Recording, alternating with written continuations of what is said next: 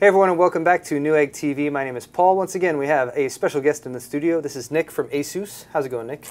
Still doing great, Paul. All right, I'm still doing great too. We've been doing quite a few videos today. We're covering a lot of products that Nick has brought along. You guys might recognize Nick from our CES 2013 coverage. And here we're covering yet another product from ASUS's networking line. So this is an 802.11 AC PCI Express network card. And um, if you guys are wondering, yes, this network card might actually be sexy. What do you What do yeah, you think, Nick? Exactly as you described it, 802.11ac. It's got a nice red heatsink on top, and here on this model that we took out of the box, we have the antennas connected directly to the card itself. Um, of course, when it's positioned in a case or in a box um, or even a test bed, you might not have room for those antennas. So we do include a uh, magnetic antenna base stand, so that you can actually go ahead and position wherever will be most convenient for you to get pick up a good signal. And magnetize, so you just stick it on the side of your case or wherever uh, you have the least amount of interference. Exactly. Now, um, for those folks who might not be familiar with the 802.11 AC standard, let's talk about wireless standards very briefly. First off, uh, we started with 802.11, uh, what, A? A Way and a long time ago, then B, and then they had G, and now N is pretty much a standard right now. Most folks are using N. If you've bought a laptop in the past few years, it's probably got an 802.11n uh, Wi-Fi card in there. Mm -hmm. uh, AC is the next step, and AC is improving uh, throughput and bandwidth on the 5 gigahertz band. Correct. Now, if you guys would like a much more long-winded explanation of this, as well as some sort of vague real-world examples that Nick kind of I made Nick come up with off of the top of his head, you can check out our video on this device right here. This is the 802.11 AC USB adapter. So we went over this one. This is a great solution for folks who are looking to upgrade a laptop computer, and you can simply plug that in and give yourself a better wireless solution, more bandwidth, and uh, we demonstrated its effectiveness in yeah. that video. But this video is about the PCI Express adapter, so uh, let's start out with a comparison here. Going, let's say, from a USB solution like we talked about in the other video to the PCI Express adapter, what kind of benefits are you going to get? Uh, on the AC side alone, um, you're going to get probably at least a twofold increase um, okay. from having that additional antenna and being in the PCI Express slot. So you're going to pick up quite a bit of speed, and compared to a 2.4 gigahertz network or an 802.11n, maybe single antenna, mm -hmm. uh, like a little USB dongle, maybe something like that, um, you're going to get five, six, seven times as fast. Uh, okay, uh, so if you're, if you're, going from like a really simple yeah. solution like a lot of laptops have integrated, you're definitely going to see a big jump here, and we are going to be doing a bit of a demonstration here in just a moment. Uh, so let's let's clarify for some folks as well about uh, why are there three antenna on this particular device. Okay, so uh, each standard has uh, kind of a set of guidelines of what the configurations can be that all the manufacturers have to abide by to make sure that everything plays nicely together. Mm -hmm. um, 802.11n introduced up to three antennas in what they call multiple in, multiple out, and each antenna can transmit and receive at the same time, increasing the amount of stuff that can be sent back and forth.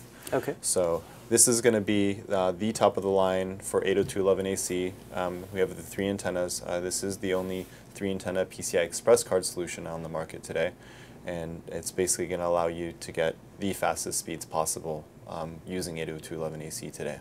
Okay, and just a quick comparison here, uh, going from 802.11n to 802.11ac. With 802.11n, if you had a three antenna solution such as this, the maximum theoretical bandwidth for each antenna was 150 megabits per second, and you could collect those together. Uh, and what, what is the term? So again? you'll you'll see that labeled as 4 450, 450, 450 okay. megabits when you have three antennas maxed out on 802.11n.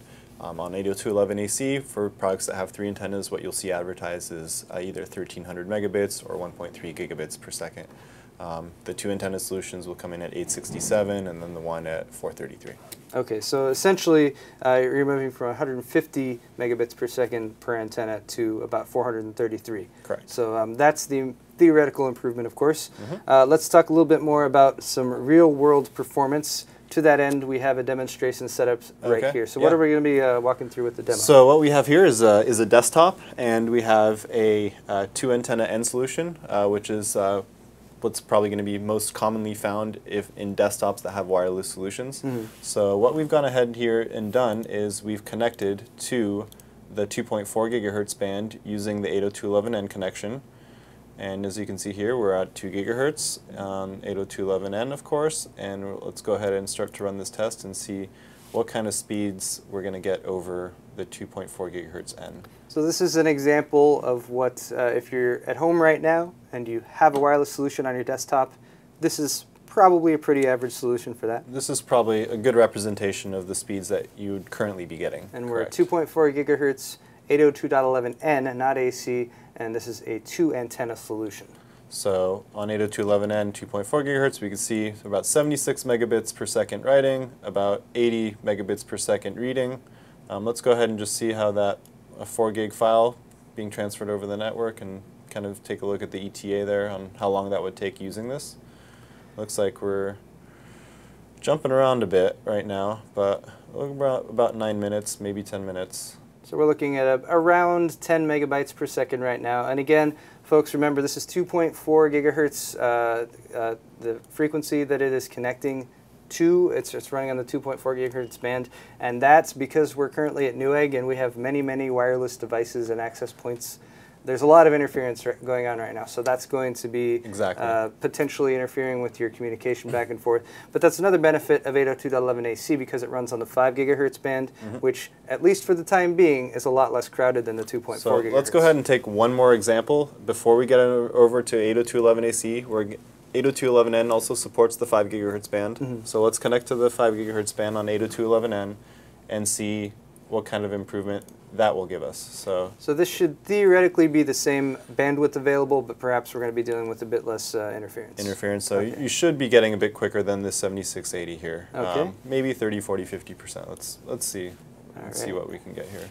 So already here we see a pretty big jump. So we're around uh, 157 writing, looks like, around 190 reading. So we saw a very big jump on the 5 gigahertz band. Um, Definitely. Um, and that really shows how impacted the 2.4 gigahertz uh, yeah. band is Especially around here in if you're in if you're in an area like this, if you're in an industrial area or maybe like an apartment building or something like that, where you have lots of people with lots of different routers, a very crowded spectrum, mm -hmm. more interference is going to hurt your speeds. So let's take a look at this 4 gig file. Use on the 5 gigahertz 802.11n. We can see from that 10, 9, 8 megabytes a second, we're up to around 17. So um, we have about split it in half the amount of time that you would need to transfer that file over. All right. Um, so let's go ahead and take our final look at 802.11ac. We'll go ahead and enable that connection and disable the other one. If you guys are wondering how Nick did this, we had a add-on USB 2.0 802.11 wireless N card, which he plugged into our laptop demo machine over here. Now we're switching back over to the 802.11ac unit. Uh, like I have right here, which is currently installed. And we are connected to the 5 gigahertz band using the AC card here. So let's go ahead and take a look at what kind of speeds that we can get. All right. So let's run this test. So here we can already see the huge increase from 802.11ac. That's significantly so, more. Uh, on the writing we did 471. on the reading we did 389. Let's let's run it one more time. Let's, yeah, we might as well. Let's it's so fast. It, it varies. It can vary each time. Um, it varies according to the environment. In an ideal environment, what I've seen on this card is uh, between 450 and 500. Like in a household, is is not to be unexpected. Okay. So we've gotten to look at some real world speeds. Let's take a look at that four gig file and transferring. Num numbers over. should speak for themselves right there, you guys. Uh, but here's the 4.5 gigabyte file transfer test. It is just calculating the speeds right now. Oh, I think we might have run into a hang up there. Might have hung up. Uh-oh. Let's try that again. There it goes. There we go. So looks like we're already up from our previous max of around 17, 18 megabytes a second. We're up to 55 plus, so that's about three times faster at least um, compared to the N. So that's a solid, a solid three times increase. And we went from originally needing around 10 minutes to about a minute and a half. Excellent. So less um, than a minute now. So uh, clearly, as you can see here, guys, the new standard provides uh, much greater bandwidth availability. And again, you also get the benefit of being able to run on that 5 gigahertz band, which again, for the time being, until too many people find out about this, but don't worry, you're the first to know. uh, that, that's going to be a pretty open, clear spectrum for you guys to, to transfer your files back and forth if you're looking for a wireless solution. Uh, so yeah, uh, was there anything else about this card as far as features or extras? Because ASUS also provides uh, some utilities to use. Yeah, you will get the ASUS utilities, um, so it'll give you um, ability to set up profiles um, and uh, see maybe signal strength and kind of give you some information that the Windows utility doesn't give you. Okay, and uh, that's pretty much going to wrap it up for this video, guys. Uh, once again, we've been taking a look at the wireless AC 1750 to 802.11 AC PCI Express wireless card with the three antenna setup.